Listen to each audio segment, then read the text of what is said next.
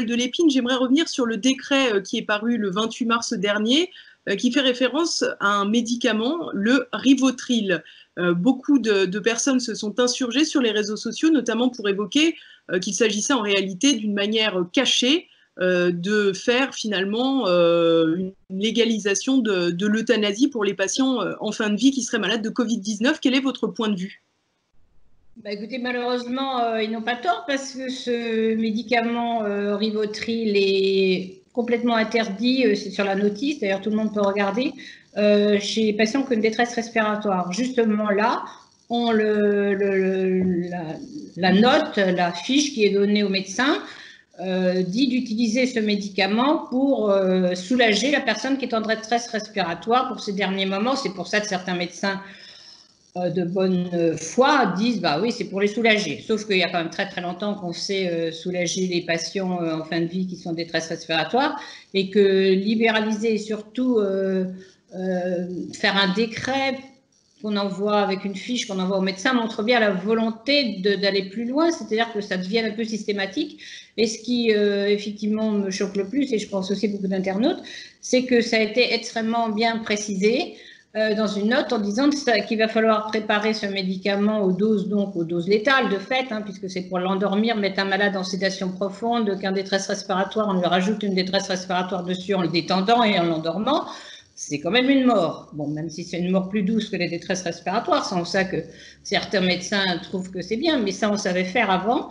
Et là, on vous dit qu'il faut euh, préparer euh, les, patients en fonction de leur euh, gravité potentielle, c'est-à-dire on va s'occuper aussi bien des... Il va falloir que les patients dans les EHPAD en particulier ou au domicile, par un généraliste, soient un petit peu classés. Soit vous êtes un, patient qui a un Covid supposé, parce que même supposé seulement, et qui va pas si mal que ça, mais on suppose que vous allez pouvoir vous aggraver, vous aggraver. Et là, le gouvernement a donné l'ordre de ne pas transférer ces malades-là dans les hôpitaux publics, dans les services de réanimation, même dans les services un peu lourds.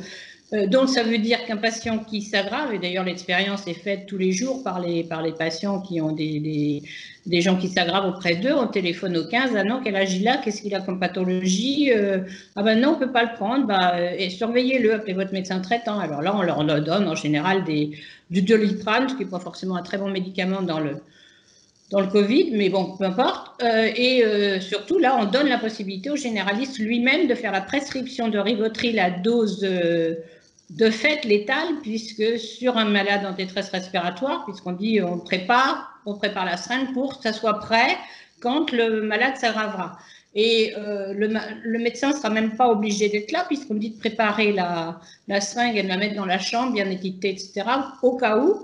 Et à ce moment-là, l'infirmière qui passe, mettons, tous les jours, voir ce malade un peu gêné à domicile ou dans les EHPAD, dit, téléphone au médecin, ah ben il est en train de s'aggraver, euh, qu'est-ce que vous en pensez? Bon, est-ce que je peux faire la, la, la enfin, l'injection de Rivotril? Et là, il dit oui. Ce qui est quand même, alors il dit oui, euh, sans, sans consentement du malade, de fait, hein, et sans euh, consentement non plus de la famille, et sans que, pire que ça, dans les EHPAD, la famille ne l'ait revu et rediscuté avec lui.